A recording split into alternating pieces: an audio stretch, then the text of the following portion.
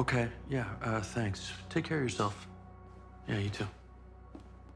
How's your friend at CSIS?